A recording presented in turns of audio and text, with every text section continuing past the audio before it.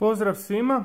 Ovaj test e, snimamo sa HTC 10 pametnim telefonom u Full HD rezoluciji, a ono što nam je došlo na test je Huawei Mate 9 koji je već neko vrijeme prisutan na hrvatskom tržištu, pa ćemo sad u, u nekoliko minuta podijeliti s vama naše iskustvo e, testiranja ovog Android pametnog telefona. Prvenstveno, kao što vidite iz samog pakiranja, radi se o relativno crnom, onako ekskluzivnom sa zlatnim slovima. Pakiranje dosta dobro izgleda i naravno e, s prednje strane odmah na pakiranju vam se daje do znanja da se radi o Leica Dual kamerama. No, krenimo od samog telefona. Uh, Huawei je nekako postao stvarno brand koji više nema potrebe posebno predstavljati. Znači radi se o, o brendu koji je koji zbilja radi kvalitetne e, pametne telefone i upravo Mate 9 je jedan od takvih. E, prvi, prvi susret sa Mate 9 je izrazito pozitivan. E, znači odmah u ruci osjetite da se radi o premium telefonu, da se radi o, o, o flagshipu, znači o klasi flagshipa koji je izrađen od aluminija. Prednjom stranom je ekran dijagonale 5,9 inča e, sa 2.5 e, zaobljenim, e, zaobljenim staklom. Nažalost, s prednje strane iz Huawei nisu rekli da se radi o Gorilla glasu, no staklo je dovoljno, staklo ima nekakvu zaštitu, a uvijek sugeriramo svim našim čitateljima da nabave nekakvu zaštitnu foliju. Kao što vidite sa desne strane palite i gasite uređaj, tu su i tipke za stišavanje i pojačavanje glazbe. S gornje strane je infracrveni, e, infracrveni e, senzor koji izvrsno radi i koji je super stvar za domaću multimediju poput STB-a, TV-a i slično. Također tu je 3,5 mm uh, audio utor, znači stari audio utor. Izgleda Huawei nije nastavio tradiciju Apple ili HTC-a da bi ga napustio, a kao što vidite i sama debljina uređaja je vrlo, vrlo dobra, znači sam utor ne utječe na, na debljinu uređaja. Sa lijeve strane nemate apsolutno ništa osim ovog metalnog utora koji standardno s onom iglicom otvarate. Unutra se nalazi hibrid, znači e, Mate 9 može raditi i kao dual SIM telefon, znači možete imati dvije SIM kartice i tada ste osuđeni na internih 64 GB memorije, a ako ne želite imate samo jednu SIM karticu, tada onaj drugi nano SIM utor postaje micro SD utor i u njega možete staviti do 256 GB memorije. S donje strane USB-C e, punjač i e, loudspeaker koji je vrlo glasan, znači e, zvučnik koji je vrlo glasan. I ono što je lijepo ovako, lijepo ovako detalj vidjeti, sad ćemo pokušati malo fokusirati. Znači ovim malim aluminijskim vicima, onako daje stvarno industrijski dizajn. Stvarno uređaj izgleda jako dobro, leži u ruci jako dobro, 5,9 inča nije mala dijagonala, ali s druge strane uh, dijagonala je koja ovako, možete se relativno jednostavno naviknuti na njega. I sad, što se tiče samog pakiranja, ono što nam se svidjelo je što uh, Huawei isporučuje uh, Mate sa ovim super brzim USB-C punjačem. Znači radi se o Huawei Superchargeru koji stvarno u, u nevjerojatno brzom roku napuni bateriju, znači nama je nekakvih 40. U prosjeku smo otkrili da je potrebno ha nekakvih 20, 40% 20 minuta, sad sam baš išao provjeriti bilješke. Također ono što nam je se svidjelo je što je Huawei dao u pakiranju i ovo zaštitno, e, zaštitno e, kućište koje štiti, e, koje štiti rubove Huawei-a i zadnju stranu koja onako postane glosi. E, e, što se tiče hardvera, sigurno vas zanima šta se skriva u, u, u Mate 9. U Mate 9 se skriva vrlo jak hardware. Radi se o Kirinu 960 procesoru koji je napravio High Silicon, a on sadržava 4 jezgre Cortex A73 radnog takta 2,4 GHz i 4 jezgre Cortex A53 radnog takta 1,8 GHz. Prema mnogim testovima, neke smo i mi obavili, uh, brži je ponekad i od Snapdragon procesora.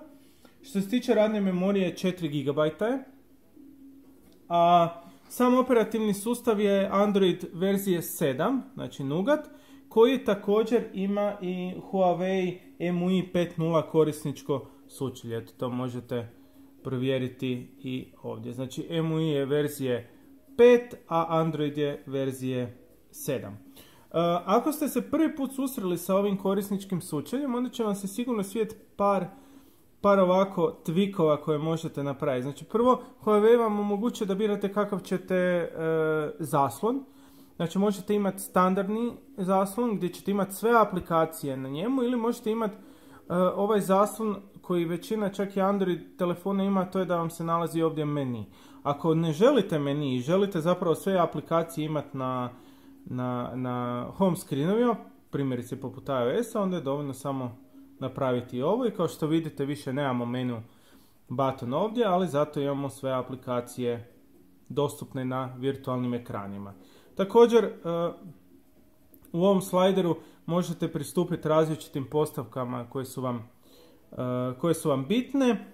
Možete čak i snimati video, što je super, e, super fora, znači snimati video ekrana, a pristupate ostalim postavkama ovdje.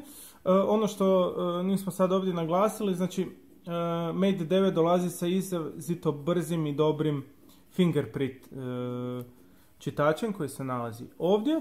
I sad već kad smo došli do ove stražnje uh, strane, ono što je nas je apsolutno impresioniralo na novom testu je kamera. Znači Leica dual kamera je jednostavno nešto što je što ćete vidjeti zapravo po, po nekim testnim fotografijama a što se tiče samih e, informacija, znači radi se o dvije kamere, jedna je 20 megapiksela koja je crno-bijela, a druga je 12 megapiksela koja je u boji. Sama kamera je sposobna snimati e, Full HD video, a moguće čak i 4K video, što je iznimno, iznimno dobro. E, kad to spojimo sa 64 GB interne memorije, onda vam je u, relativno dovoljno, ali e, kao što smo napomenuli, uvijek možete staviti micro SD memorijski, memorijsku karticu. Mane, sigurno vas zanimaju mane. Prva mana je, koju smo našli, na uređaju ovakvog ranga nam je žao što je samo Full HD ekran, znači rezolucija ekrana nije, nije veća od 1080 puta 1920 piksela, no budemo realni, E, na ovakvom uređaju, na, na, na mobilnom uređaju teško da ćete uočiti razliku između Full HD i, i možda 4K uh, e, ekrana. Kao što vidite, uh, boje su žive, uh, same, same ikone, sam tekst, sam sadržaj, sve je iznimno kristalno, kristalno čisto, kristalno jasno. Ono što nam se možda nije svidjelo što nema FM radio, recimo ako poželite slušati radio, morat ćete e, slušati nekakav oblik streama, znači ne možete u pomoću slušalica slušati ovaj standardni FM radio. I ono što nam nedostaje je IP67 certifikat koji smatramo i tu smo čvrstog stava da uređaj ovakvog ranga jednostavno trebaju biti otporni na vlagu i prašinu, s obzirom da veći veći iznos novaca investirate u ovakav uređaj, a kada smo kod novca, Cijena je e, negdje već od 5300 kuna sa PDV-om u slobodnoj prodaji, što je dosta konkurentno. E, primjerice, ako ćete uzeti Google Pixel e, XL kao, XL kao direktan konkurent ovom uređaju, Googleova cijena je negdje preko 6500 kuna. Znači, otprilike 1000 kuna je Huawei jeftiniji. I upravo se ne osjeti nekakva razlika to što je on jeftiniji. Zapravo radi se o vrlo kvalitetnom pametnom telefonu i na kraju ako bi nas netko, bilo koji ili vi ako bi nas pitali da li bi vam preporučili ovaj pametni telefon, znači ako vam je potreban novi Android pametni telefon sa usudili bi se reći, najboljom trenutno kamerom od svih takvih uređaja, takvog ekrana. Dobar Android, dobar build quality za cijenu manje od 6000 kuna, znači od nekih 5300 kuna, onda definitivno Huawei Mate 9 je naš izbor, jer tijekom testiranja je pokazao iznimnu kvalitetu izrade, rad, kamera, brzina, baterija, baterija impresivno dugo traje, mislim sad možete vidjeti da je na nekakvih preko 90%, baterija će vam reći procjenu oko 39 sati u stand-by, u prosjeku dva dana ako nećete intenzivno koristiti, ali ono što je najvažnije, ako imate intenzivan raspored, ujutro ste napustili kuću i punjač, do kraja dana ta baterija će izdržati što više, ovaj, imat ćete dovoljno, dovoljno struje i za surfanje i za sve. Eto, to bi bilo to.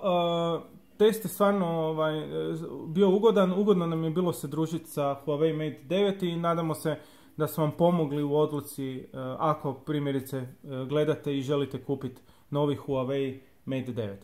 Hvala.